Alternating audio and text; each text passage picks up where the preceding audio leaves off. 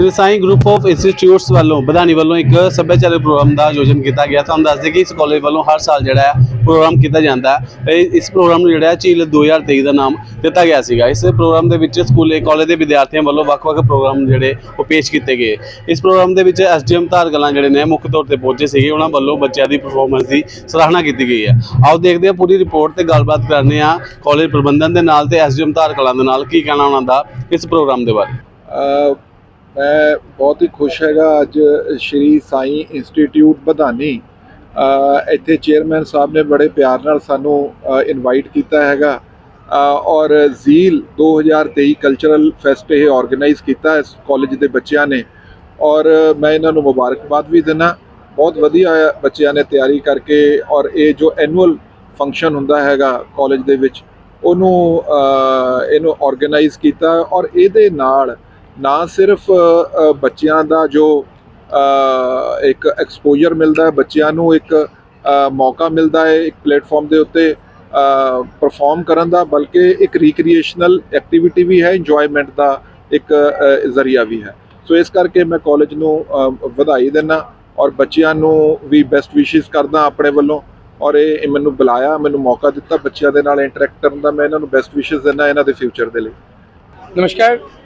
आज Shri Sai group of institutes ने अपना झील 2023 का जो आयोजन किया है, मैं बहुत खुश हूँ कि आपको बताना चाह रहा हूँ कि जो साई ग्रुप पिछले 25 साल में एकेडमिक जगत में जो काम कर रहा है, उसका एक जो इम्पोर्टेंट पार्ट है एक्स्ट्रा करिकुलर एक्टिविटीज़ उसको भी साथ लेके वो हमेशा काम करता रहता है। एक बच्चे की जो कॉलेज लाइफ में ऐसी एक्टिविटीज़ की जो वैल्यू है वो उसकी कैरेक्टर बिल्डिंग और जो उसकी कॉन्फिडेंस बिल्डिंग में काम आती हैं, वो साइन ग्रुप आगे आके काम हमेशा करते रहते हैं। आज के इस कार्यक्रम में जो स्पेशल गेस्ट चीफ गेस्ट मैं बोलूँगा, हमारे एस एम धारकला, तेजवीर सिंह जी, जो पी सी एस हैं, वो स्पेशल आ रहे हैं।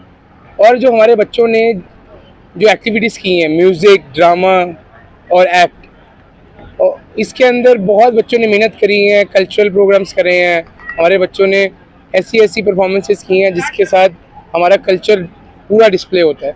मैं पूरी ऑर्गेनाइजिंग टीम को बहुत धन्यवाद करता हूँ कि वो हर साल ऐसे काम करते रहते हैं। एंड मेरा एक ये मैसेज ज़रूर है बच्चों को स्टाफ को क्योंकि आप और आगे आके ऐसी चीज़ों में पार्टिसिपेट ज़रूर करें। क्योंकि ये चीज़ें एक स्टूडेंट लाइफ की बहुत ज़रूरी है और कॉलेज लाइफ एक ऐसा टाइम है जब आप अपने आप को पूरा पॉलिश और एक्सपोजर दे सकते हैं। मैं एंड में हमारे इस ग्रुप के चेयरमैन इंजीनियर एस के पुंजी और एमडी श्रीमती तृप्ता पुंजी उनका जो आशीर्वाद हमें मिलता है, उनका गाइडेंस मिलता है, मैं उनका बहुत धन्यवाद करता हूँ कि हम इसी तरीके से आगे आगे काम करते रहें। मेरे साथ मेरे सारे कॉलेजेस के प्रिंसिपल्स डीन्स स्टूडेंट्स उन सबकी तरफ़ से मैं सबका धन्यवाद करता हूँ और प्रेस वालों को खासकर जिन्होंने आज हमारे इवेंट को कवर किया और हमारी बात लोगों तक पहुँचाने में हमारी सहायता की। धन्यवाद। आज मैं Shri Sai group of institute के annual cultural function and competition झील में हाजिर हुआ। हूँ, जो कि Shri Tushar Pant C M D साहब की अध्यक्षता में हो रहा है। और मैं दो घंटे यहाँ बैठा हूँ।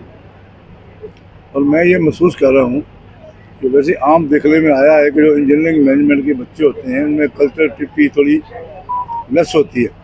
लेकिन आज जो मैंने इतना बढ़िया कार्यक्रम देखा बच्चों में एनर्जी लेवल देखा मुझे बहुत खुशी हो रही है। कि हमारे इस ग्रुप ग्रुप के बच्चे जो पुरानी हमारी परंपराएँ हैं, आप लोग सब जानते हैं कि बड़ी देर से जुड़े हुए हैं कॉलेज के साथ। तो पुरानी परंपराएँ को, जो बच्चे हैं, वो आगे लेके जा रहे हैं। हमें एक बार फिर ये झील के ऊपर इसके जो प्रबंध निर्देशक हैं, तुषार पंत जी एम डी पंत जी और सारे प्रिंसिपल, संजय जी, सनवाल जी, चेतन जी, पवन जी, विपिन जी मुकेश गुप्ता जी, सबको धन्यवाद दूँगा। जिन सबने मिल के इस कार्यक्रम को सक्सेस किया और मैं एक बार फिर उनका वेलकम करूँगा कि आज हमारे यहाँ Tejveer Singh ji S D M Tarkala chief guest बच्चों को आशीर्वाद देने आए। मैं उनका भी एक बार धन्यवाद करता हूँ, क्योंकि इनके आने से बच्चों में जो उत्साह बढ़ता है, मैं आपको बताऊँ कि एक पुरानी बात है, एक बार आर्मी का कमांडर हमने बुलाया। उन्हें सारे बच्चों को हाथ मिलाए, बच्चों को मोटिवेट किया। उन बच्चों को हाथ मिलाने से मोटिवेट करने से कम से कम भी पचास बच्चे हमारे आर्मी में चले गए, जिनमें से दो एसजीवी कमांडो हैं। वो आजकल वो बहुत वी वी आई पी ये जब एस आते हैं या डी सी आते हैं या बड़े लोग कॉलेज में आते हैं तो बच्चों में एक उत्साह होता है कि हम भी कैसे बने।